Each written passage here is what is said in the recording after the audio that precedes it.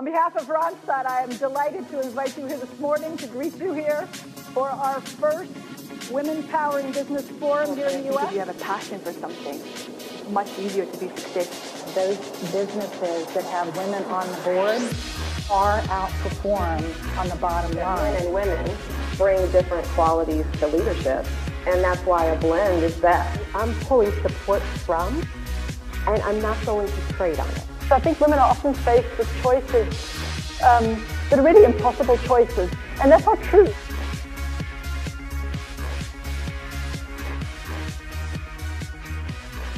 So um, to kick things off, to get the party started, as they say, I'd like to introduce Susie Wolff.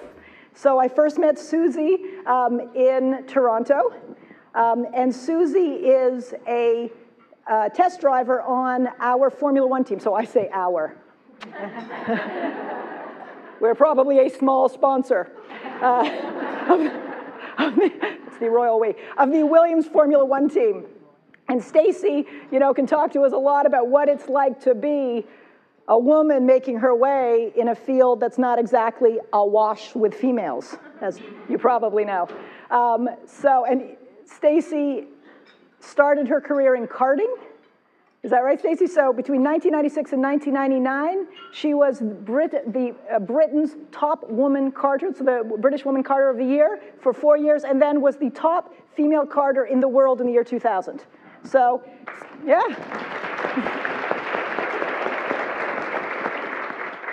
Stacy is only one of four women this decade that have worked in Formula One, that have driven in Formula One. And here's an interesting fact. From 1950 to today, in the last 60 years, only five women have participated in the Grand Prix race. So, you know, for those of us who, who think, gosh, you know, women are really underrepresented in what we do, I think, I think Susie will uh, teach us a thing or two. Before I invite Stacy to the stage, and we're going to talk today a lot about uh, overcoming obstacles, uh, Susie faced an interesting obstacle yesterday as she um, came to the US for the first time. Um, they lost her luggage. So, Despite her celebrity, Susie doesn't usually travel incognito. She usually has her full F1 garb, uh, but uh, today um, it's in Pennsylvania. Yeah, awesome. All right, so Susie.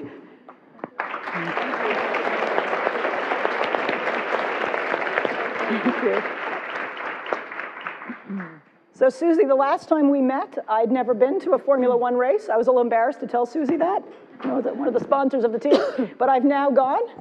So I, I, went to the Formula One race in Tokyo, just about regained my hearing.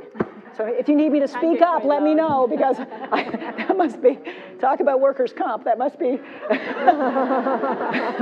must be quite a challenge. Anyway, I was very impressed. You know, talk to us a little bit, what is it like to be a, a driver on the, on the Williams team?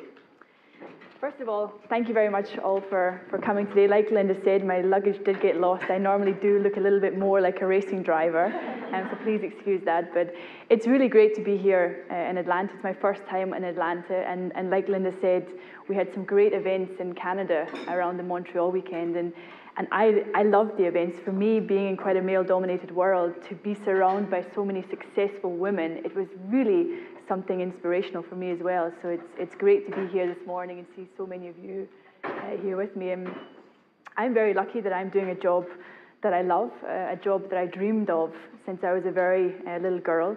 It all started uh, when I started racing karts, and, and like Linda said, I progressed through the ranks. And, and when I look back now, and, and when people say to me, well, why, why did you want to be a racing driver? It was simply my passion. It was something I loved doing. I was incredibly lucky to get the support of my parents. My father has a, a motorbike shop, and actually, my mother met my father when she went into the shop to buy her first bike. So, um, the start, the, the genes were there. Motorsport was in the blood, uh, so that was a, a, good start. But I got a lot of support from, from my parents. Um, but my, for my mom, it was always important that, that I studied and that school work went very well. So I did end up going to university to study, I think, international business, the, the standard course you do when you're not quite sure what you want to do. um, and after, after two years, um, I decided that I wanted to pursue my dream of being a racing driver. So I made the difficult decision to, to quit my studies My mum immediately said, okay, but you can always go back and finish. And I said, yeah, mum, I'm going to go back and finish it in a few years, knowing that there was no way I was going back.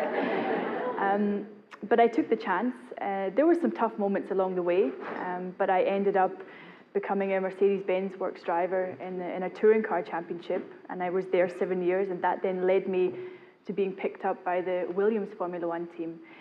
And I'm incredibly proud to be part of a team like Williams. They are a real racing racers team. Everything is about the performance of the car. And I think a lot of you are, are maybe not so aware of Formula One just now in the US. We hope that's going to change after after this morning. Uh, yeah, yeah, after this morning definitely, and after the race in Austin especially.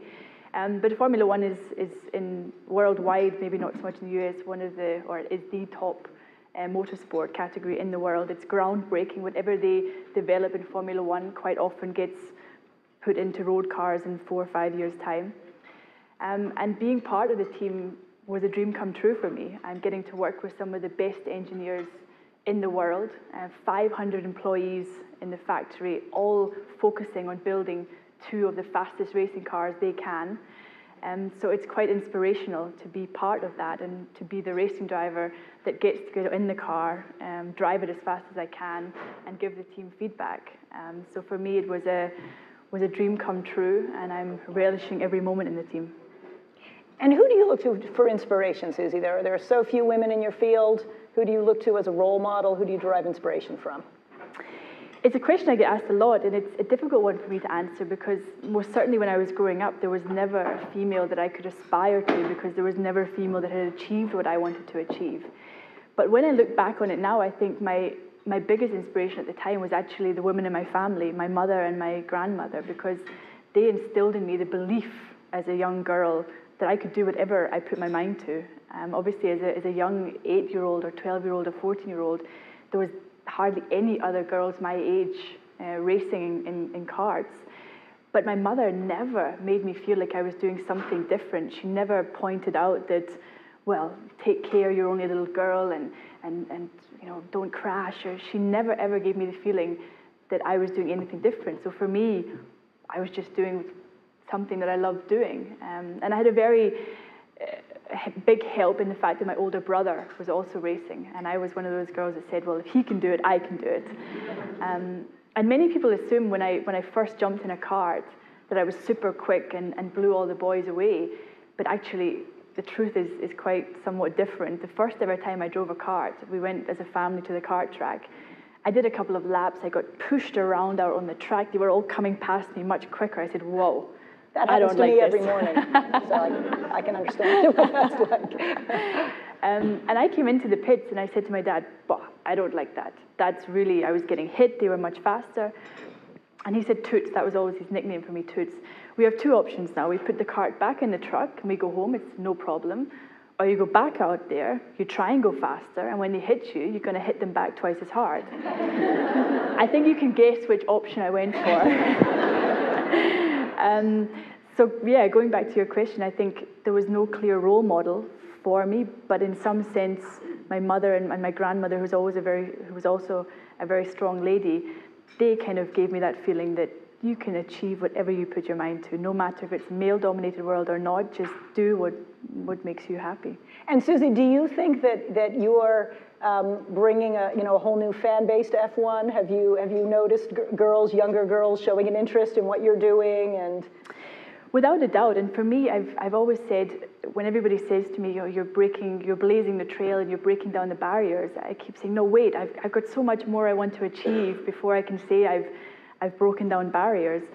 But for me, it's, it's so good to see when a little girl comes to me to, to put a, another aspect to the story. The racing car I drive in, in DTM is pink. Um, the sponsor, it was always white, and the sponsor had the great idea that we want the car to be pink because it's a great marketing tool. Um, I wasn't that happy about the decision, but kind of got over it. But one very positive side effect was these little girls dressed head to toe in pink coming to me and saying, Are you the girl in the pink car? Um, and I would always say, Yeah, I'm the girl in the pink car. And I got quite proud of it actually. And, and many fathers came to me and said, you know, they would watch the racing on the television and their daughters were never interested until they could see a pink car out on the track. And I think they think it's either Barbie or Hello Kitty. Um, but that was a, a very positive side effect. And, and that really made me feel quite proud that, that this small thing of turning the car pink, no matter if it was a, a cliche blonde girl in a pink car, it really inspired many young little girls who would never normally be interested in racing or even coming to a race. So that was a very positive side effect. And, and in that sense, I do feel now that, that maybe it's good just to show um, women or girls who maybe didn't quite think that motorsport was their thing, that actually there are women there who are doing something good in motorsport. And, and as a team at Williams, I'm the development driver, the only driver uh, in Formula One now. Uh, on the board, we have a, a, CFO who's female. We have Claire Williams, the daughter of the founder, who sits on the board. She's head of marketing. And motorsport is a very performance based sport. If you're not good enough, you simply won't last because there's too many people aspiring to get there, and it's too fast paced and performance based that if you're not good enough, you simply will get replaced. So the fact that you can turn on a TV screen and, and see more women at the highest level yep. of motorsport, I think inspires women to kind of think, okay, it's possible. And Susie, what advice do you have to women, to the women here in the room who are perhaps making their way um, up the up the leadership chain, or or trying to kind of take their place in a at a table where there are a lot more men than women around the table? What would be your advice? Well, we actually saw from the from the events we did in Canada that as much as mine is a, a sports um, male-dominated world, it's very similar to what you're also facing in, in your workplaces. And I think first of all, you're all here, so you all have a, a level of success already. So I think you're doing a good job as it is. But my advice was always, or if I look back and, and try and understand how I managed to get to, to where I wanted to go, it's a couple of factors. The first thing is, is being passionate about what you do. I'm very lucky, but I followed my passion and I'm doing my dream job. But I think if you have a passion for something, it's much easier to be successful because you can dedicate much more to it. You can get up in the morning and know you're doing something you love. It's not about going to an office and thinking, oh, God, another day at work. Um, so the passion really helps. And, and the second thing is, is just believing in yourself. There was many times when, when people said, you're never going to make it. There was many moments in my career where I thought to myself, how am I going to make it? There's so much odds against me making it. Two moments stand out when I was nominated for Young Driver of the Year award, a very big award in Europe, and I lost two years in a row. And I spent the, when it was announced, I spent those nights crying in my hotel room.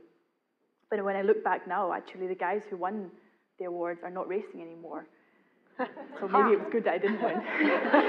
um, but there are always going to be very, very tough moments. And there are always going to be moments where you think to yourself, ah, is, is, am I doing the right thing? Is it just believe in yourself? Know from that gut feeling inside that you're on the right path. You're doing something that you want to do. And no matter how tough it gets, just never lose that, that belief in yourself. That's terrific. Susie, thank you so much for sharing your story, and I wish you and your team good luck in Austin this weekend. Thank you very All much. All right. Keep your fingers crossed, please.